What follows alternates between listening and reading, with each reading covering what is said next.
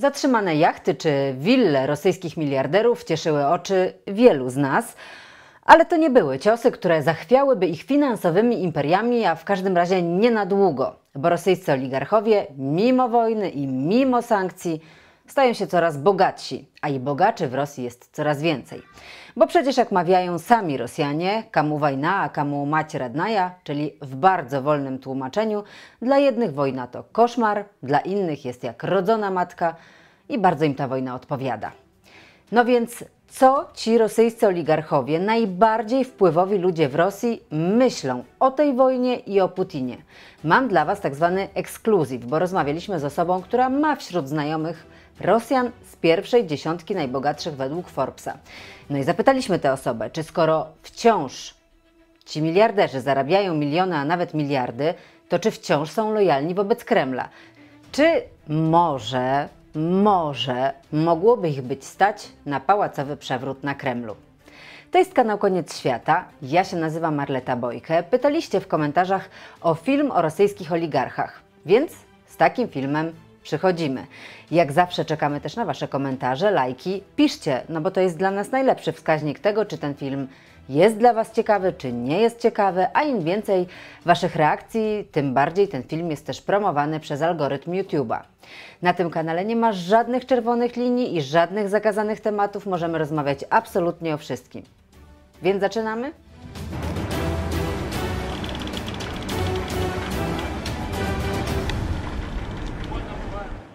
W Rosji słowo oligarcha jest słowem magicznym. Otwierają się przed tobą każde drzwi, w parze z pieniędzmi idzie też władza. No bo jeżeli nie jesteś blisko władzy, blisko rządzących, no to a priori nie możesz być też oligarchą.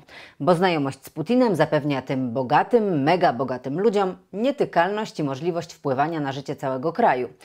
Oto pierwszy przykład. Jeden z najbogatszych Rosjan, Oleg Deripaska, właściciel norylskiego Niklu, czyli firmy, która przed rosyjską agresją na Ukrainę była największym na świecie dostawcą niklu, palladu i platyny.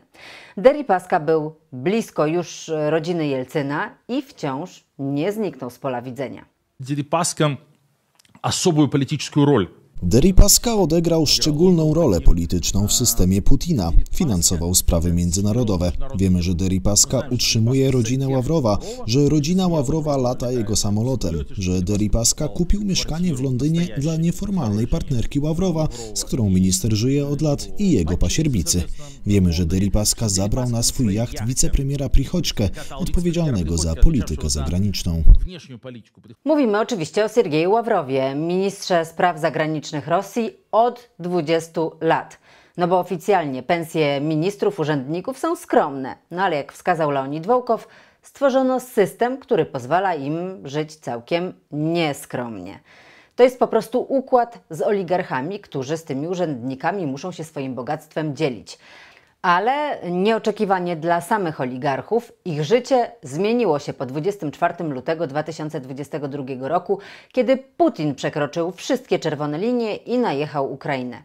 Od tego czasu rosyjscy oligarchowie mają problemy ze snem, nie mówiąc już o tym, że słabo im się jeździ po świecie, bo już nie są nigdzie mile widziani, nie to co kiedyś. Zachodnie sankcje wywierają presję przede wszystkim na tych, którzy byli przyzwyczajeni do życia na Zachodzie zgniłym Zachodzie, jak mówi Władimir Putin. A przed 24 lutego 2022 roku mieszkała tam większość rosyjskich bogaczy. Michał Friedman, Piotr Awen, Roman Abramowicz, Oleg Deripaska, przyjaciele Putina bracia Rottenberg. Lista jest długa. Wszyscy są w ten czy inny sposób powiązani z ropą, gazem, aluminium, niklem, ogólnie rzecz biorąc z zasobami, na których rosyjscy oligarchowie zarobili swoje miliardy i długo chętnie te miliardy wydawali na Zachodzie w Wielkiej Brytanii, na francuskim Lazurowym Wybrzeżu, we Włoszech czy w Szwajcarii. Ich jachty cumowały w europejskich portach. To na przykład Roman Abramowicz na jachcie w Monako. Jego majątek szacuje się na 10 miliardów dolarów. To ich rezydencje są uważane za najdroższe w Londynie jak na przykład dom Andrzeja Guriewa, właściciela rosyjskiej korporacji zajmującej się produkcją nawozów mineralnych i byłego doradcy naukowego Władimira Putina. Wittenhurst House. Powierzchnia 6 tysięcy metrów kwadratowych. Największa rezydencja w Londynie i druga w Wielkiej Brytanii. Pod ziemią jest jeszcze kilka pięter. Całość warta jest 300 milionów funtów.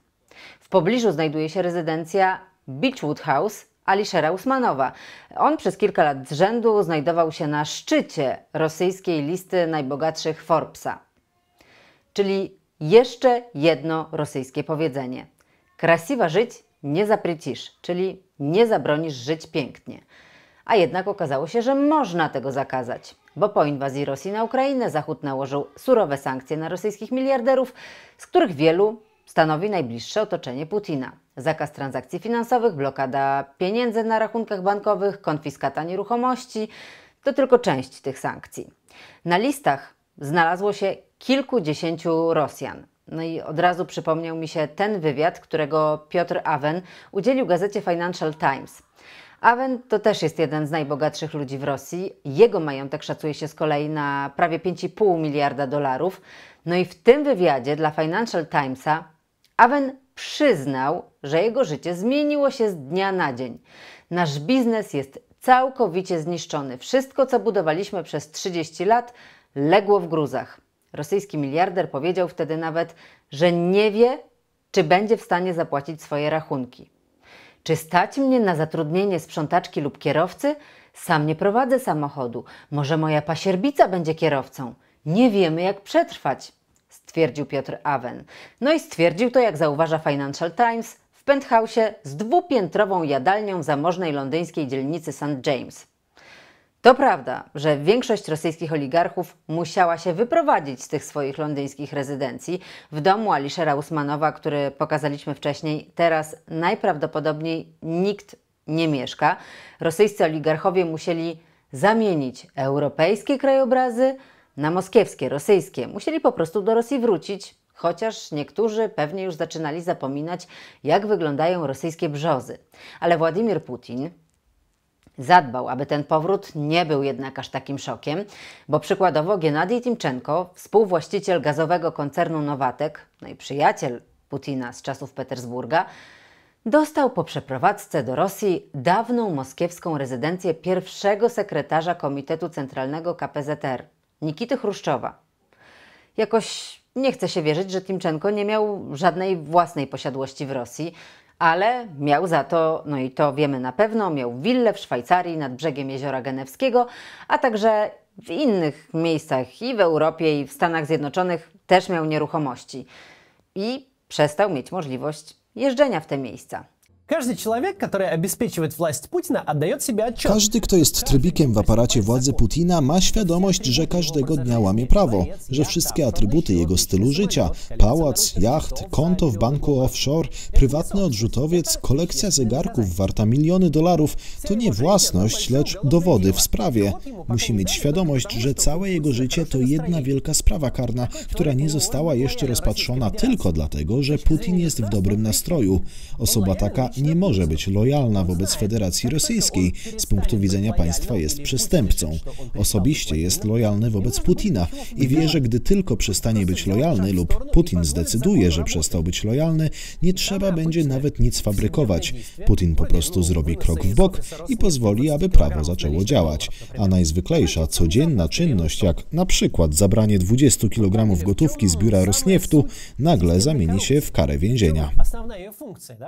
Dwa i pół roku wojny z Ukrainą i co dalej? Sankcje wciąż utrudniają życie, nadal nie ma pieniędzy na sprzątaczkę? Tak myślicie?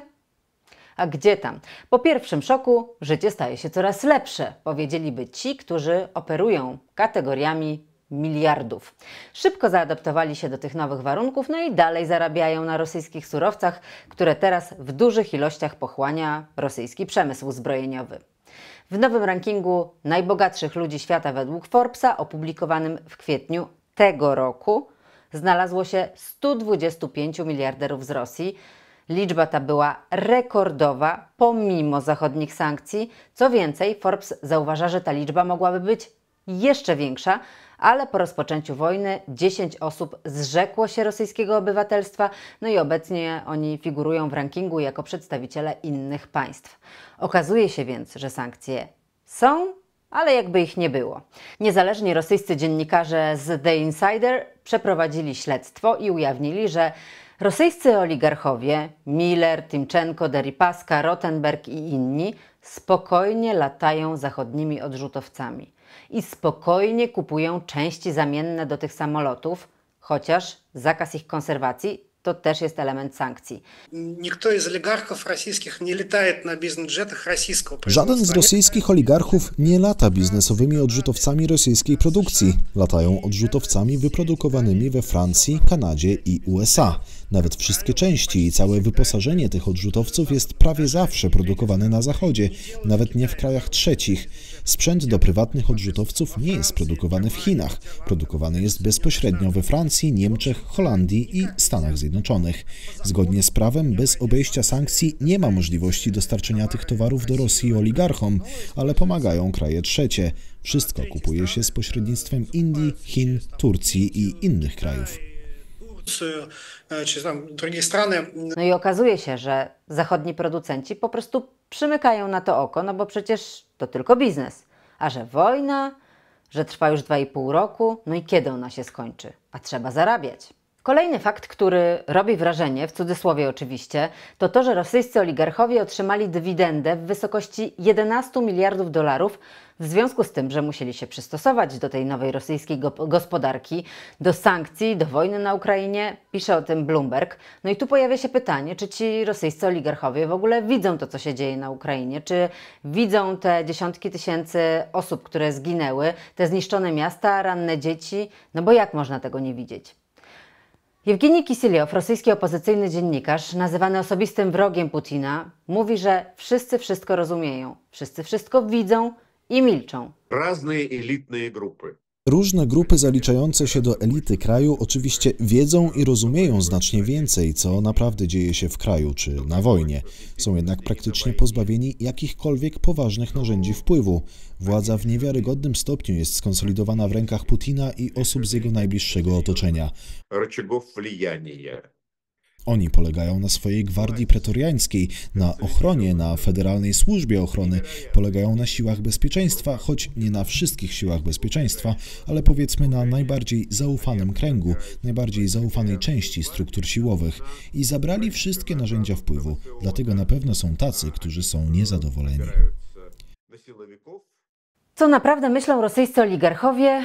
Jewgenij Kisiliow, dowiedział się tego od jednego z nich. I to była bardzo interesująca rozmowa.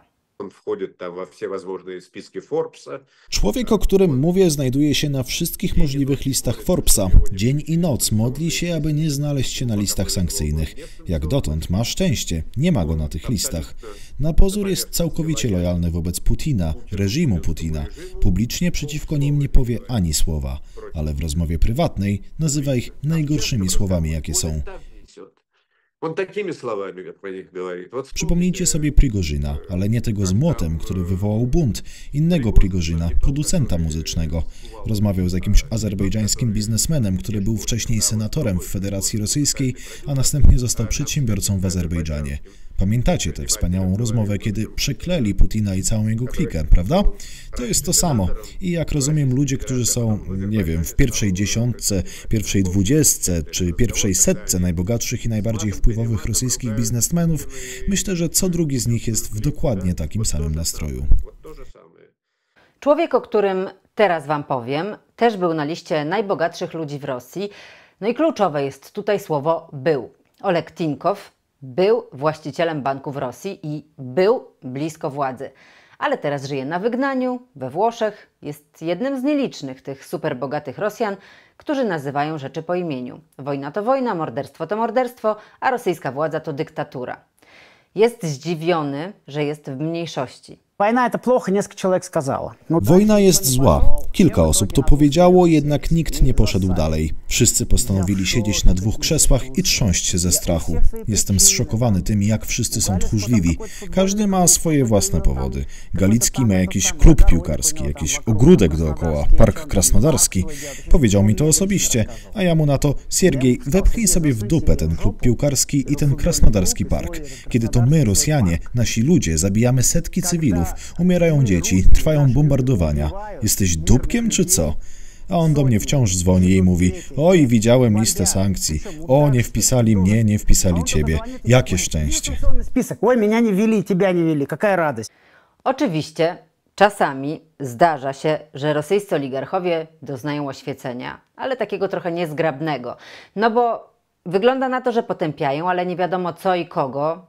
Na przykład Oleg Deripaska, już wspominany, w wywiadzie dla japońskiej agencji Nikkei Asia opowiedział się za zawieszeniem broni na Ukrainie. Nazwał wojnę na Ukrainie szaloną i skrytykował wydatki wojskowe Rosji.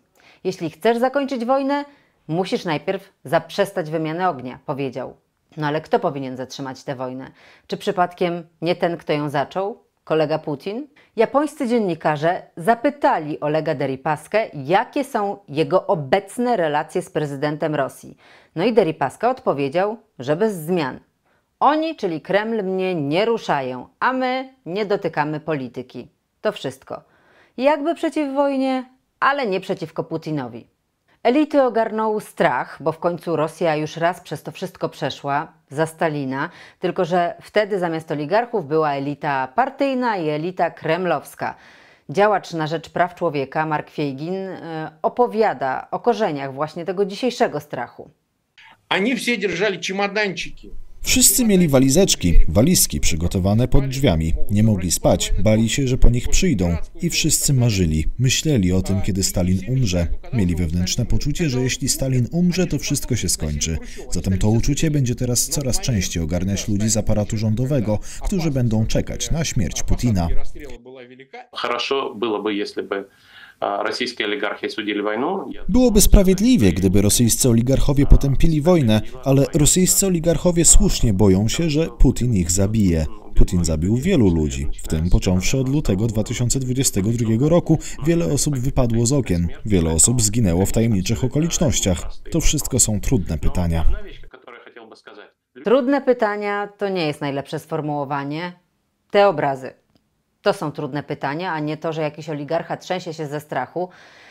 Kiedy nie wiesz, gdzie dziś spadnie rakieta, nie wiesz, czy przeżyjesz, kiedy gwałty, tortury, morderstwa stają się codziennością, a one stają się codziennością na Ukrainie, to to są trudne pytania, a nie pieniądze oligarchów, którzy boją się odezwać słowem, dla których portfel jest ważniejszy niż życie tysięcy osób. Często pojawia się pytanie o to, czy rosyjscy oligarchowie mogą obalić Putina. Czy w ogóle są do tego zdolni? Co mogą zrobić z Putinem, skoro nie mogą podejść do niego bliżej niż na odległość strzału z armaty? Myślicie, skoro człowiek jest miliarderem, to nogą otwiera drzwi na Kremlu? W otoczeniu takiego miliardera jest dwóch generałów i 15 pułkowników FSB, którzy śledzą każdy jego krok. W jego samochodzie jest podsłuch, telefony też są na podsłuchu, jest inwigilowany 24 godziny na dobę, 7 dni w tygodniu. Porozmawiać może tylko na przykład w głośnej dyskotece, gdzie muzyka wszystko zagłusza. Oni doskonale rozumieją, że wszyscy są pod kuratelą Putina i nie da się przed nim ukryć. Они прекрасно понимают, что они все находятся под путинским колпаком, Jakoś to będzie. To wydaje się być główną myślą oligarchów Putina. Jedyne, do czego są zdolni, i to nieliczni, to do zmiany obywatelstwa.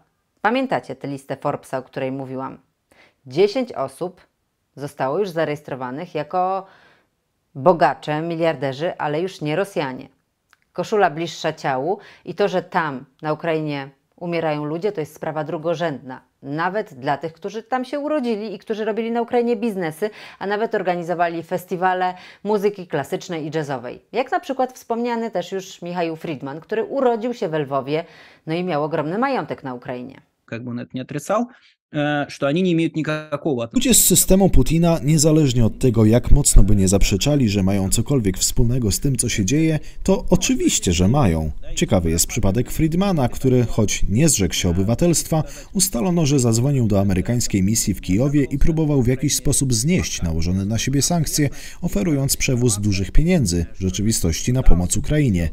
To bardzo znacząca rzecz, bo to jest właśnie rozłam elit. Powiem wam, że jeśli oligarchowie zrzekają się obywatelstwa rosyjskiego, próbują negocjować z wrogiem Putina, bo dzisiejsza Ukraina jest wrogiem Putina, to jest jasny dowód na to, że w rosyjskich elitach nie ma jednomyślności. Czy rosyjscy oligarchowie pokonają ten strach? To mało prawdopodobne, bo wydaje się, że oni wszyscy działają według jednego i tego samego scenariusza. Przymknąć oko na to, co się dzieje na Ukrainie i przypodobać się międzynarodowemu zbrodniarzowi Putinowi. Potajemnie liczą te swoje wyprane pieniądze i szukają sposobów na przechytrzenie Zachodu. Macie inne zdanie? Napiszcie o tym w komentarzach. Czekamy na nie, czekamy też na Wasze lajki. Możecie nas też oczywiście wspierać w serwisie Supi by Patronite. Gorąco Was do tego zachęcam i dziękuję, że znów byliście z nami.